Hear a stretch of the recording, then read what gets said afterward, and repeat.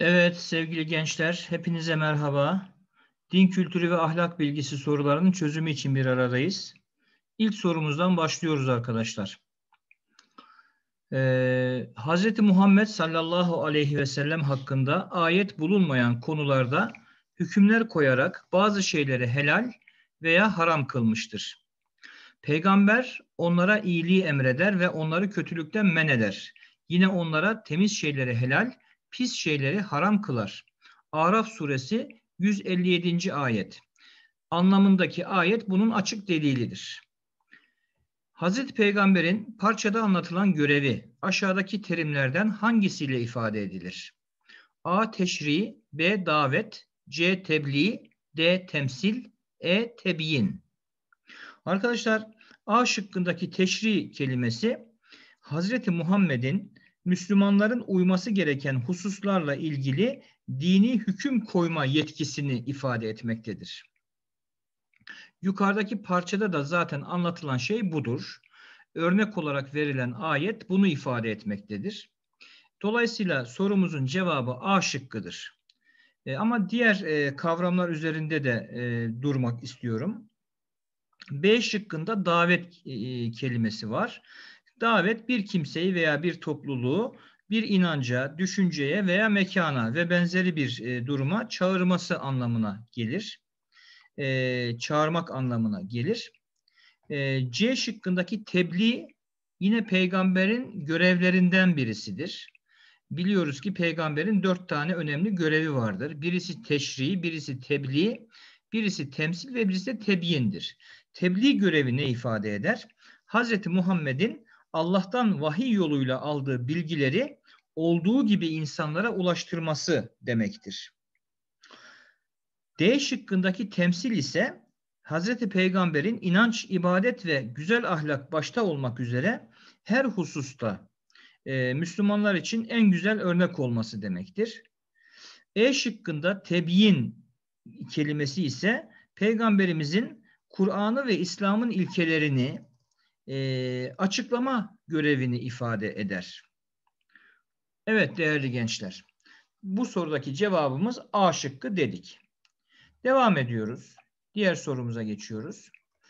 Ee, evet burada yine bir ayet var. Ee, o ayeti okuyacağım şimdi ve bu ayete dayanarak dayanarak Hz. Muhammed sallallahu aleyhi ve sellem ile ilgili aşağıdaki özelliklerden hangisine ulaşılamaz sorusunun cevabını bulmaya çalışacağız.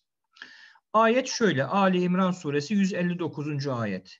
Allah'tan bir rahmet sayesindedir ki sen onlara yumuşak davrandın.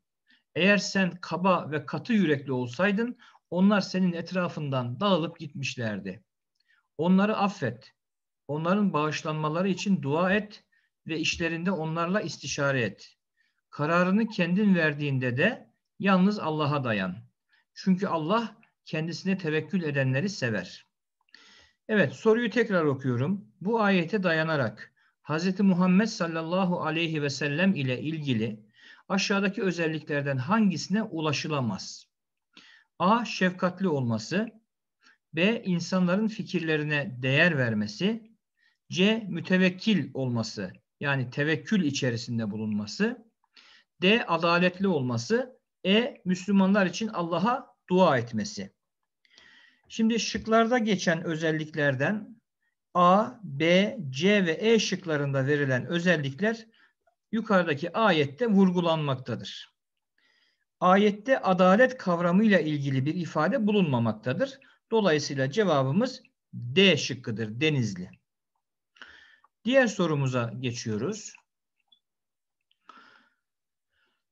İslam'a göre Allah'a inanmanın inanırlara bazı faydaları bulunmaktadır. Bu hem dünya hem de ahiret hayatını kapsamaktadır.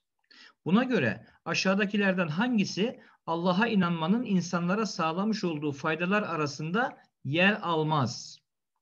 A şıkkı. Allah'a inanan kişinin davranışlarında olumlu değişiklikler olabilir. B. Allah'ın varlığına inanmak insanın varoluş amacını bulmasında yardımcı olur. C. Allah'ın varlığına inanan insanlar evrene ve bilime katkıda bulunur. D.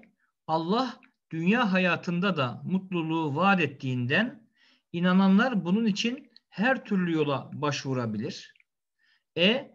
Allah inancı dünyada tam anlamıyla sağlanamayan adalet ihtiyacını karşılayarak insanları yeisten yani ümitsizlikten uzak tutar. Ee, şimdi değerli gençler, Allah iman edenlere hem dünyada hem de ahirette mutluluk vaat etmektedir. Dünyada mutluluğun vaat edilmiş olması, insanın dünyada helal harama dikkat etmeksizin istediği gibi yaşayabileceği anlamına gelmez.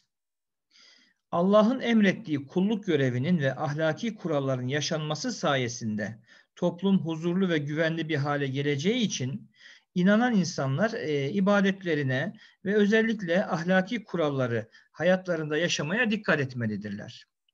Burada cevabımız D şıkkı oluyor gençler. Denizli. Evet diğer sorumuza geçiyoruz. Peygamber Efendimiz Aleyhisselatü Vesselam'ın bir hadisi var burada. Buyuruyor ki dünya ile benim misalim bir ağacın altında gölgelenip sonra terk edip giden yolcunun misali gibidir. Bu hadiste dünya hayatıyla ilgili vurgulanan husus aşağıdakilerden hangisidir?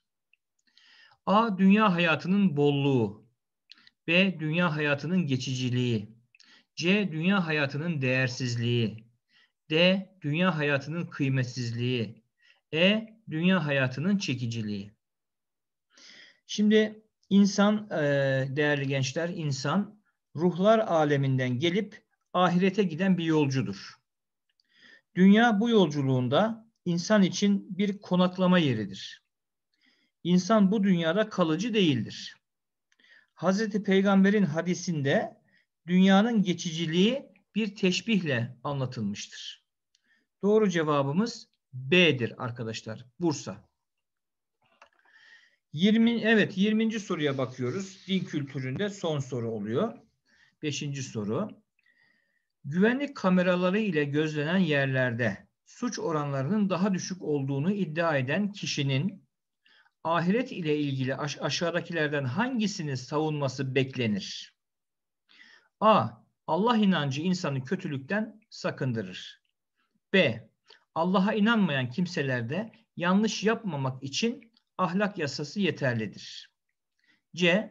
İnanmak insanların eylemlerini düzeltmek için yeterli değildir. D. Allah inancı kötülerin kötülüklerini engelleyemez. E. İnanmayan toplumlarda inanan toplumlara göre suç oranı daha düşüktür.